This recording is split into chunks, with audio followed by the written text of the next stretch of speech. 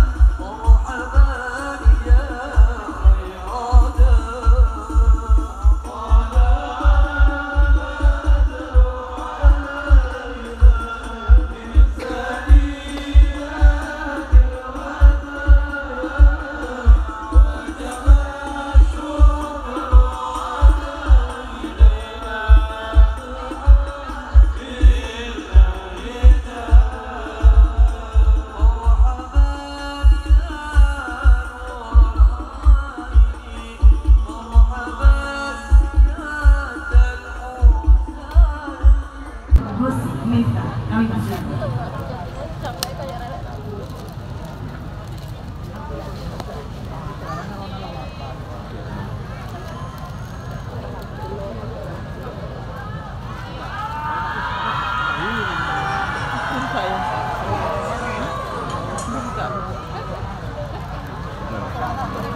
Pol.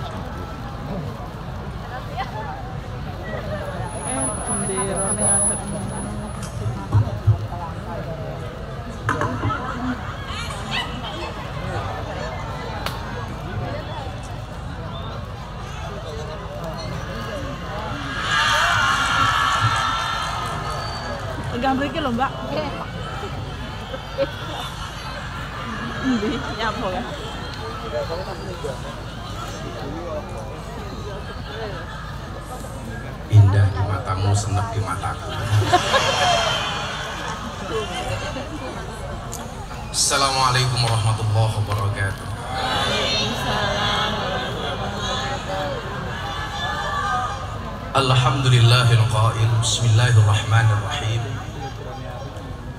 Qul ya ibadiyalladzina asrafu ala anfusihim la taqnatu min rahmatillah. Allah yaghfiru dhunuba jami'an innahu huwal ghafurur rahim. Allahumma salli wa sallim wa barik ala sayyidina wa maulana Muhammadin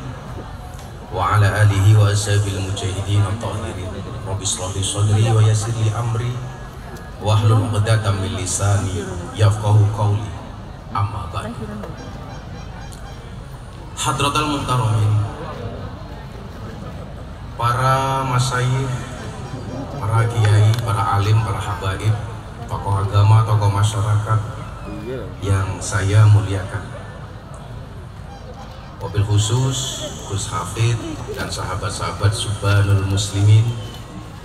Mudah-mudahan Allah senantiasa jaga dengan keberkahan dan kemanfaatan. Para pejabat yang berkenan hadir, Bapak Bupati, Pak Sugiri Bupati yang sangat sederhana saya agak susah membedakan diksi sederhana dan miskin apakah beliau ini pribadi yang sederhana atau miskin kayaknya ya BBT beda-beda tipis tentunya beserta istri. Halo Bu.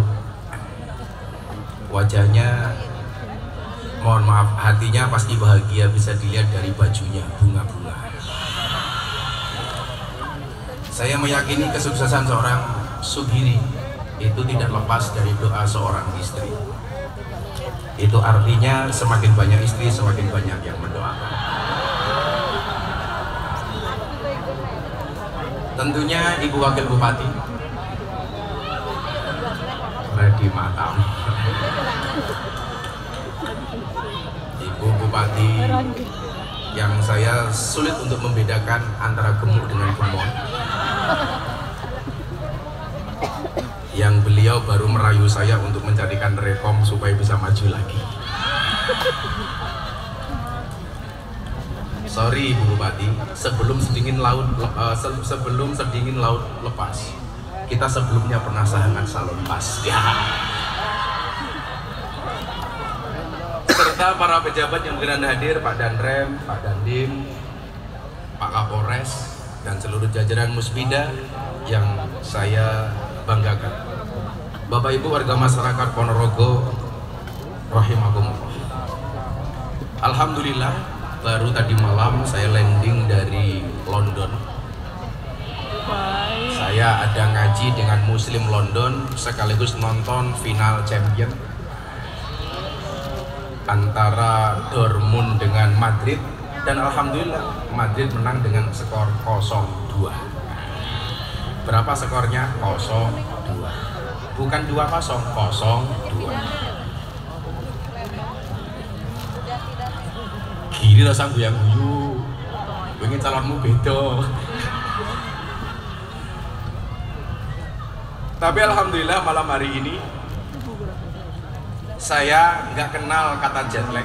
Kalau dulu orang bepergian apalagi naik pesawat selama 16 jam. Jakarta, Dubai 8 jam, Dubai, London 8 jam, masih tambah Jakarta, Jogja. Walaupun di tengah yang sangat tinggi, alhamdulillah saya tidak kenal dengan jet lag. Saya meyakini diperhatikan tinggi banget kirain Monas Jakarta eh ternyata tembok antara kita maka saya bersyukur malam hari ini begitu saya melihat poster judulnya keren. Tobat Geden Solawat keren. Yang nggak enak itu begini solawat keren itu pasti identiknya dengan Gus Asmi dengan Gus Hafid. Begitu ngomong tobat itu mesti kaitannya dengan maksiat. Mesti kaitannya dengan iya pun canggung jadi kalau ngomong selawat keren yang diingat-ingat Gus Asmi begitu taubat geden yang diingat-ingat Gus Miftah nah Bapak Ibu dan kawan-kawan sekalian yang berbahagia ahli syariat itu menemukan Tuhan dengan ilmunya. Semakin dia mengkaji ilmu, maka dia akan meyakini keakbaran Allah. Makanya orang-orang alim itu mohon maaf, orang-orang alim itu tipikalnya mungkin dia seneng ngaji, tetapi ibadahnya biasanya pas-pasan. Orang yang alim itu biasanya ibadahnya banyak, oh, mohon maaf, ilmunya banyak tapi ibadahnya kurang khusyuk. Contohnya siapa? Nabi Sulaiman. Nabi Sulaiman itu nabi yang sangat alim tetapi ibadahnya kalah khusyuk dengan bapaknya Nabi Daud.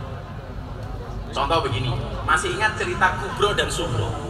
Kakak adik. Kubro ini kakaknya, Subro ini adiknya. Kubro dan Subro ini sama-sama meteng. Hamil. Kalau bahasa Jawanya apa? Ngandut bahasa lebih halusnya apa anggarep beni kalau anggarep seri anggarep sari itu men anggarep beni itu matang saya itu kalau ngomong halus pagi ini kalah sama saya. Cuman kalau saya ngomong halus orang Ponorogo malah kaget loh tajam kami kesambet kok jadi meteng itu bahasa Jawanya ngandut. Yang lebih halus namanya anggarep beni kalau uh, menstruasi itu anggap sari. Mens. Menstruasi ya bukan mencret nah, dua-duanya ini hamil. Matang sembilan bulan kemudian melahirkan. Oh ini ada pemirsa BTV jadi Pak Giri Alhamdulillah acara malam hari disiarkan oleh BTV dengan acara Jalan Dakwah Gus Miftah. Alhamdulillah ini acara ahlu sunnah paling favorit televisi nasional. Jadi lumayan, Raine Pak Giri tonton secara nasional. Raine. Ada aja. Jadi kalau Pak Giri ngundang saya ngaji itu undang-undangnya ngamplop tipis orang apa-apa, yang penting iso monek-monek ke sak dari. Lah.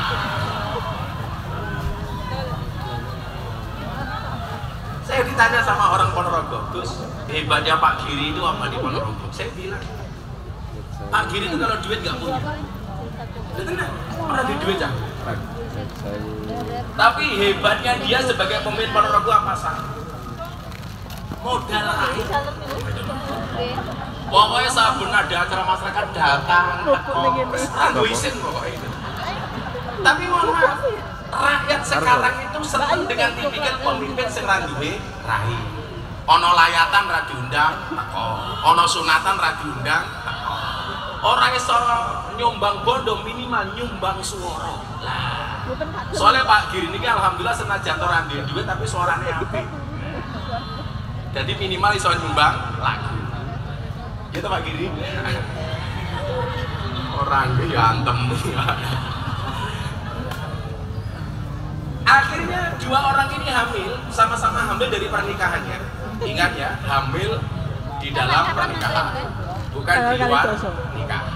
Hati-hati jangan sampai kalian hamil di luar nikah itu namanya kebobolan matamu kebobolan koyo bal-balan kayak kebobolan ya Allah kalau bahasa Inggrisnya sama level kumpul kebo kalau ada orang kumpul kebo hati-hati punya anak namanya gudel Kurang asem. Akhirnya dua-duanya ini melahirkan Pak Giri. Kubro yang besar melahirkan, Subro yang kecil juga melahirkan.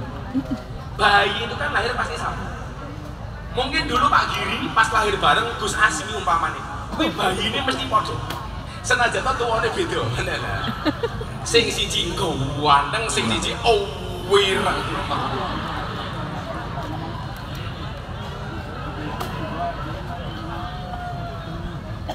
Jadi belajar dari pengalaman Pak Prabowo terpilih jadi presiden itu karena sering didolimi. Nah, makanya kalau Pak Giri pengen jadi bupati lagi maka harus siap-siap didolimi. Nah, Kira-kira begitu Pak Giri. Itu kampanye yang paling murah. Anjlok. Ya gampang langsung diatur. Cuman saya itu agak terganggu dengan Tegal Sari itu tahun ini nggak ada haul. Alasannya karena mendekati pilkada takut untuk kampanye. Sebenarnya alasan yang tidak logis. Bukan pengajian akbarnya nggak ada. Rasanya ya harus ngomong karena aku coba ini. Sari. Kenapa? Mungkin Oleh Tegal Sari cuma selawat. pengajian tutupannya Iya, ya. tidak ada. Ora enak anu nih. Cuman diganti solawatan. Tapi apa pun keputusan panitia kita hormati. Nah, pokoknya wong Ponorogo kudu bangga duwe Mbah Muhammad besar. Jadi bayi itu lahir sama. Makanya kenapa bayi itu kalau lahir dikasih gelang supaya tidak ada bayi yang tertukar. Karena secara fisikly orang itu kalau lahir pasti mirip. Gak usah kembar orang lain saja itu bisa mirip. Dikasih gelang. Singkat cerita dua orang ini Kubro dan Sugro sama-sama pergi ke hutan. Salah satu bayi di antara keduanya dimakan harimau. Akhirnya bayinya tinggal satu. Bayinya tinggal satu. Begitu bayi tinggal satu, muncul konflik. Ya, Konfliknya apa? Perebutan bayi. Kubro mengakui bayi itu adalah anaknya. Sugro juga mengakui bahwa bayi itu adalah anaknya. Geger geden, rebutan. Eduran. Hmm. Sugro nggak mau kalah, Kubro nggak mau. Saitane duran pas. Iya. Siapa yang gendong bayinya? pernah tahu, Ru. Sugro. Akhirnya karena nggak Kawan, ketemu solusi dibawa ke pengadilan kerajaan Nabi Saya Dawud. nyambut ya nih. Ini dibawa. Kenapa? Dua-duanya mengajukan gugatan di pengadilan Nabi Dawud alaihissalam. Nabi Dawud itu tidak khusyuk yang tadi saya bilang. Bukan alim. Oh, Yang dia alim itu. Nabi Sulaiman. Anu. Makanya ayatnya bunyinya apa? Fafahamna Sulaiman. Oh. Yang paling alim itu Sulaiman. Rebutan ini. Bayiku, bayiku, bayiku, bayiku. Jangan. Nah coba Nang ini bayi pacaran itu rebutan. sekarang mbak-mbak malah banyak yang membuang bayi. Gitu loh. Kira roh lho di ngene. Hah? Roh kuwi delok status media dok, ngendi dok. aku butuh minggu lah kok. dulu. Malah bojomu yang roh. Tenang. Isi kelingan bahasane Gus gurine. tahu bulan cuwilik digoreng dadaan regane lima ngatusan mosok namu enak model gratisan iya karena aku jadi ini. Gak apa-apa lah. Lupakan masalah hari ini mana ngajak kenapa aku karena kan. besok masih ada masalah lain. Ora gelem jarene akhirnya Nabi Dawud bertanya ini anaknya siapa? Kubro jawab anakku. Ini anaknya siapa? Sugro menjawab anakku. Ketiga Oh, dia? kalinya ditanya kopiku mana? Belum ada. Itu pertanyaan ketiga. Agak mulai. Yo gore ini atau Pak Bupati, Pak Bupati. Loh, Pak Bupati. Loh, ini baru Bupati Pelayan Rakyat. Pak Bupati ini kan wayan. Ya tuh mandek lang. Terima kasih Pak Bupati. Jadi cara menutupi tidak bisa nyumbang harta minimal dengan nyumbang tenaga, kira-kira begitu. Karena bayi ini berada di tangannya Kubro, akhirnya Nabi Daud menyatakan apa? Kalau melihat, oh, mohon maaf, karena bayi ini di tangan Sugro, Nabi Daud orang khusyuk itu kan ciri-cirinya gampang pak. Orang khusyuk itu ciri-cirinya nggak mau banyak konflik. Makanya Pak Bupati sama Bu Watu, kalau minta doa itu kamu datang kepada Kiai khusyuk, jangan kepada Kiai alim. Lah ceramah teko Kiai alim. Tapi kalau jaluk dongo, golek Kiai khusyuk. Karena orang khusyuk itu gak banyak pertimbangan pak. Orang khusyuk itu gak pernah sudon. Orangnya mau husnudon. Makanya orang khusyuk itu biasanya gampang dihapus. Iya. Karena adanya cuma husnudon, orang mikir macam-macam. Bila ibu-ibu di masalah keluarga, kalau minta doa cari kiai yang khusyuk. Biasanya kiai ini desa sarung yang lilin, kamu nih lembah. Ya. Sandalnya suwalu, minimal lili gitu kira-kira. Itu orangnya khusyuk. Jaluk on Mbak Enah. Tapi mohon maaf tuh, mau mandi, mandi. Endi? Akhirnya pengadilan. Nabi Daud memutuskan bayi ini Jalur adalah mbak. merupakan anak dari Suhro. Iki, Kenapa? Karena yang gendong bayinya itu lagi jiwa lo. Pengadilan. Begitu keluar pengadilan ketemu Nabi Sulaiman. Nabi Sulaiman itu anaknya Nabi. Nek cepok, nek cepok dhuwur lah. Ibu, Bapak, sebelum saya lanjutkan, itulah alasan Mas, kenapa Nabi Muhammad itu punya anak laki-laki yang hidup. Kenapa? Karena kebiasaannya kalau Nabi itu punya anak laki-laki biasanya menjadi Nabi. Contoh Nabi Ibrahim punya anak Ismail, Ismail menjadi Nabi. Nabi Daud punya anak Sulaiman menjadi Nabi. kan. Nabi Yakub mempunyai nama Yahya menjadi nabi. Makanya Nabi Muhammad kenapa iya. tidak punya anak laki-laki Anu. yang hidup? Karena khawatir sepeninggal Nabi nanti anaknya dianggap Nabi. Padahal lah Nabi ya bada. Padahal tidak ada Nabi setelah Nabi Muhammad. Begitu ketemu Sulaiman, ditanya, eh kenapa kalian dari mana? Dari mana? Apa yang kalian sengketakan soal anak? Ini anaknya siapa? Anaknya Sugro. Buktinya apa? Yang bawa Sugro. Nabi Sulaiman langsung mengajukan peninjauan kembali. Jadi peninjauan kembali itu Pak Kapolres tidak hanya sekarang, sudah ada sejak Nabi Sulaiman. Saya banding kata Sulaiman, saya nggak percaya kalau bayi ini bayinya si Sugro. Dibawa kembali ke pengadilan Nabi Dawud. Nabi Dawud, saya banding. Saya nggak percaya kalau bayi ini bayinya Sugro. Tapi saya juga nggak yakin kalau bayi ini bayinya Kubro. Akhirnya ditanya sama Nabi Sulaiman. Anaknya sopo? Kubro jawab anak. Anaknya sopo? Sugro jawab anak. Apa yang terjadi? Karena dua-duanya bersikukuh, Nabi Sulaiman mohon maaf mengambil sebuah pedang dia mengatakan kepada dua perempuan ini karena dua-duanya mengakui ini anaknya maka izinkan saya membelah bayi ini menjadi dua. Yang separuh saya kasih Kubro yang separuh saya kasih Sugro. Akhirnya apa? Si Sugro menjawab saya setuju. Sementara si Kubro menjawab saya tidak setuju wahai Sulaiman. Daripada bayinya dibelah wallah berikan bayi ini kepada si Sugro saja. Akhirnya apa? Nabi Sulaiman memutuskan yang tadinya Nabi Daud mengatakan ini adalah bayinya Sugro. Nabi Sulaiman mengatakan bayi ini adalah bayinya Kubro. Kenapa? Karena psikologi seorang ibu nggak mungkin merelakan anaknya untuk dibunuh apalagi dibelah. Sehingga apa? Nabi Daud kemudian mengiyakan apa yang menjadi keputusan Nabi Sulaiman alaihi salam. Nah, ini Pak Wan. Jadilah jenengan golek pitedah, kuwi takono karo guru sing alim. Tapi lah jenengan golek petunjuk soal sesuk aku menang apa kalah, kuwi takono karo kiai khusyuk. Pak Giri ini saat ini seneng ngejak kula. Ora kok mergo kula khusyuk, ora kok mergo kula alim, tapi mergo kula iso golek rekom nganggo Pak Giri. Piye kabar? Hah? Dan siji iso gratisan danco, danco. Terus wah ono sing ngomong. Yang pitulas ya. Mlaku iki. Bar. Nah, tau metu. Hmm. Berarti ah bani kami tua kono. Subhan Apa nih berhayati wong akeh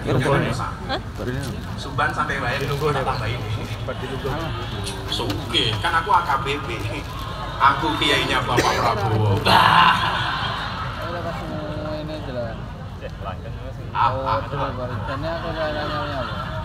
Apa? Jadi ahli syariat itu menemukan Tuhan dengan ilmunya. Semakin banyak ilmu, dia akan semakin dekat dengan Tuhan dengan cara mengkaji. Makanya nyuwun sewu, tipikal kayak Gus Bahak kayak mesti orang khusyuk. Tapi alim. Tapi alim. Lah kayak bakul es teh ini orang alim, orang khusyuk. Tapi salah satu mujizat di bakul es ini cangkemnya gede. Kadang-kadang pembicara pakai mic saja masih kekalahan bakul es. Ah.